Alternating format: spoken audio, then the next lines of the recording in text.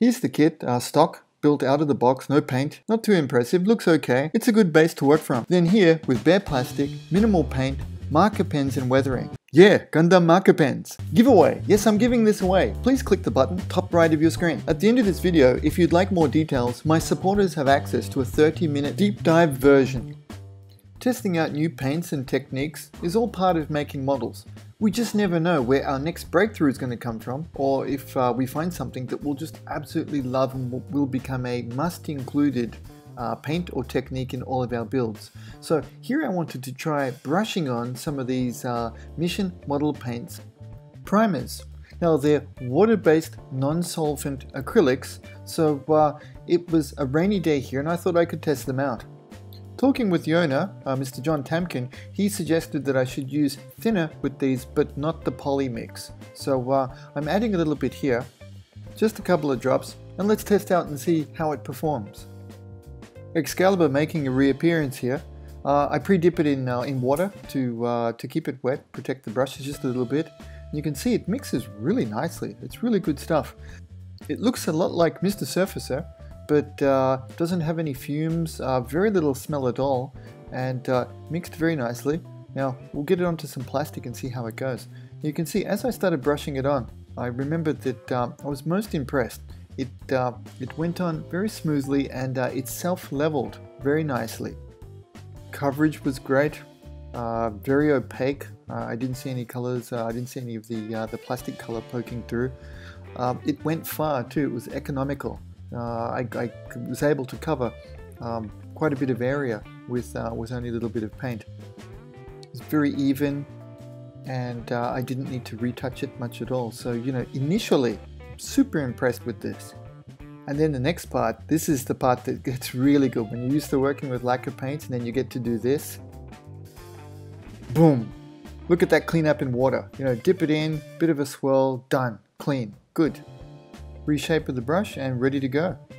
Next I wanted to try it out with a pointier brush and see how it worked on uh, painting it into smaller areas. Here you can see I'm giving it a really good mix again. I did find that there was a little bit of separation, but amazingly, the paint hadn't really started drying out yet. So I, I remixed with my brush and then now I'm painting it into some uh, to some smaller areas here that I plan to paint uh, different colors. You know, replacing the stickers and painting in some of the core key details of this model to make it look uh, much more appealing. Moving along, let's test out their white. Now, as you guys know, I paint a lot of white. Uh, I like it. I think it's one of my better finishes. And uh, using the white paint in any range, I think it gives you a really good overview. It gives you a good uh, good feel for how the paints and uh, all the other colors are going to uh, perform. So, so I'm pouring some out here onto uh, a paper palette. I'm looking to test their polyurethane mix additive, or poly as they call it.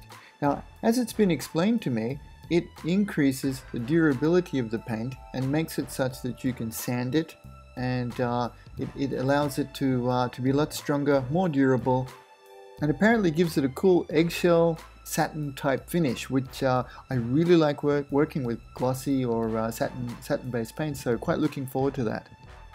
Okay, I've got some tap water out and I've got them into three piles. The white paint, some poly, and a little bit of water. And uh, we'll give them a bit of a mix and let's see how they go.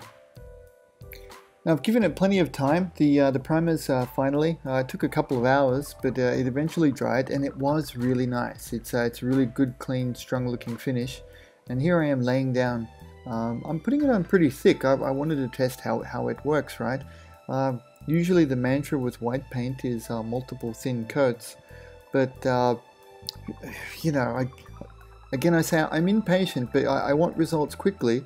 And um, so long as you lay it down, you keep a relatively wet edge uh, and lay it down evenly, it should dry out okay. And uh, you know, I'm adding the poly to it. I just want to see what happens, and I'll be I'll be perfectly you know, frank and upfront about this. I, I would like, if at all possible, to develop an acrylic-based, uh, especially non-solvent water-based uh, approach to, to, to, hand painting that could replace the uh, the lacquer paints that I use. Of course, I use the lacquer paints for their uh, performance. You know, I don't do it for the fumes, I don't do it for the smell. If I could get the best of both worlds, of course, I would be all over it.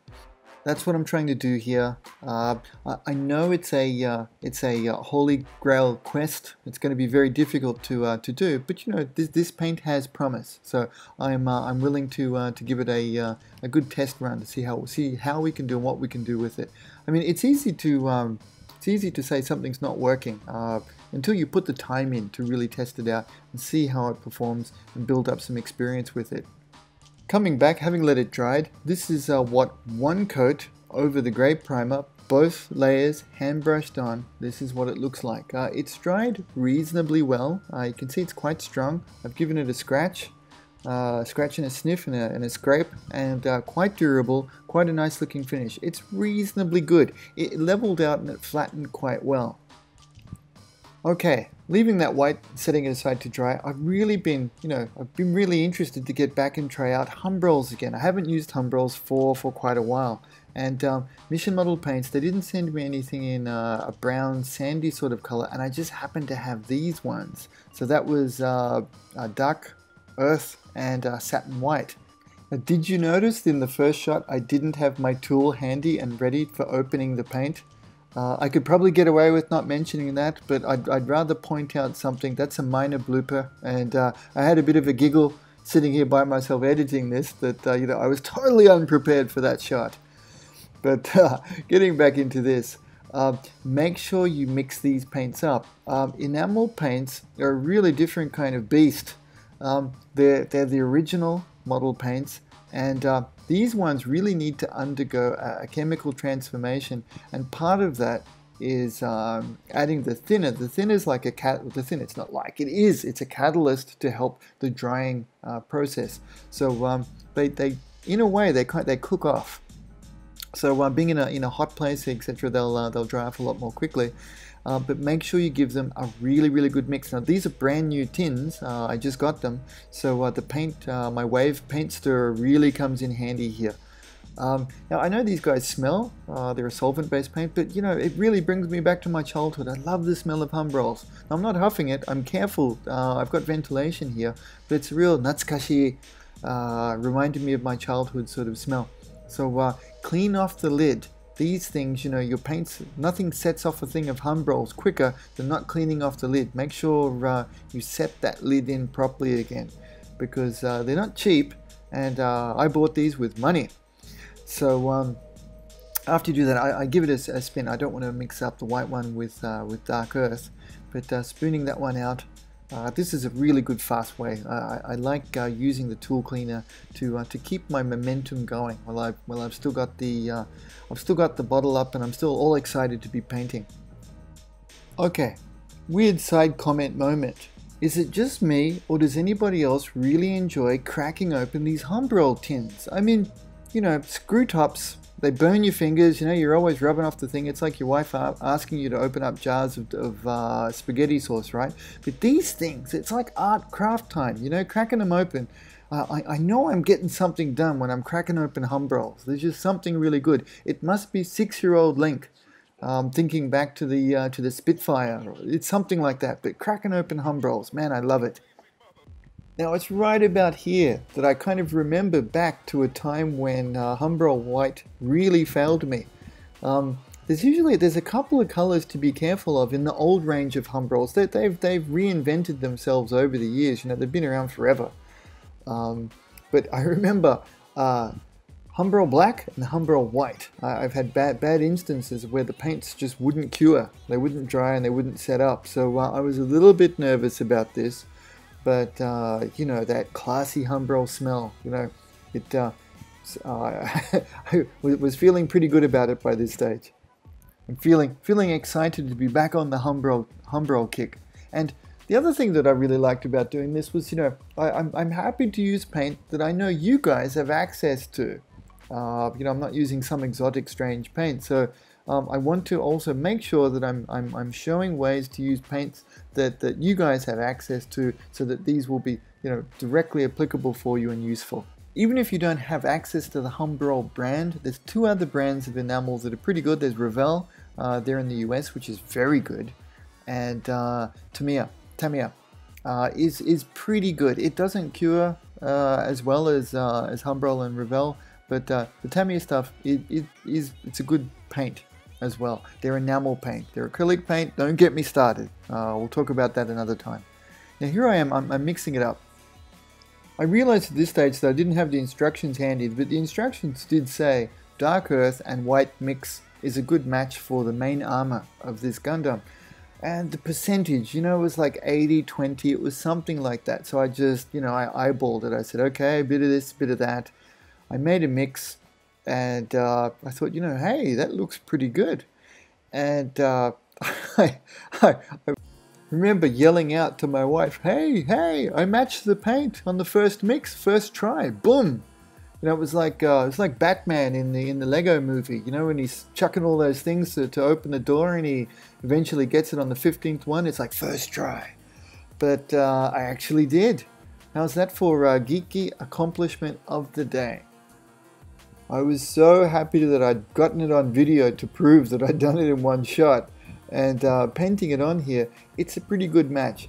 But you know, I'll be honest though, after I really matched it up, it was probably one 1.5 shades, a little bit too dark.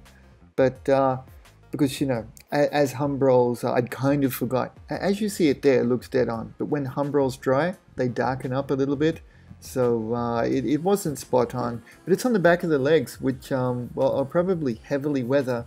So uh, I can I can live with myself and uh, keep some nerd pride in uh, in doing a, a, relatively decent mix. For the other leg here, I thought I'd try something uh, different and uh, a new skill. There, there I am. I'm cleaning off. I, I missed a little bit of paint there, but I tried painting upside down for the camera. you know, spare no expense uh, really getting into the YouTube thing, and uh, I thought I could, uh, you know, I thought you guys would be impressed with my brushwork, fancy footwork. Two drops, polyurethane additive, goes one drop, thinner, none. Two coats should be more than fine. I was putting it on like this. I just I just pushed it into the into the shape that I wanted to cover. Standing up doing this, this is this is hard duty. Detail painting, standing up, doing it in front of a camera. Next, I am putting it over the uh, over some primer here. It wasn't that I forgot those other places; it was that I forgot. so I, yeah, there were so many places to paint on this, I just forgot. Sorry. So uh, here, it, it, did go a little bit better. It stuck to itself, its own primer, a little bit better, but still the opacity. You know, even though it's over gray. Yes, I have a black primer problem. Yes, I should have used that. Would it be a pain in the ass to to put it uh, two sets of primers on? Yes, it would. Um, you know, economy of, um, what am I always saying? Economy of something? Economy of talking? I didn't want to do two layers of primer, but, uh, you know, so, so test it out. And grey is a good medium one to test. Sorry, I got a little bit out of shot here. Um, there we go, I move it back in. But it did go on pretty well. Pretty well. But I recover, the next video is going to be about the recovering stages. This one was a little bit about, uh, it was really kind of the tests and fails on this model. And uh, in the next video, I'll, I'll bring it together and I'll show you how I recovered from it. Now, working to be a better modeler, it, it, it's all great to have uh, wonderful techniques, but most importantly, I think, is that you've got to know how to recover from mess ups. That's what really sets it apart. And me and the guys in Japan, we would always talk about this. It was recovering from the mess ups that made us good, not the actual techniques that we're using. Okay, more soon. Thank you very much for watching and making it all the way through this. Cheers, guys. Bye.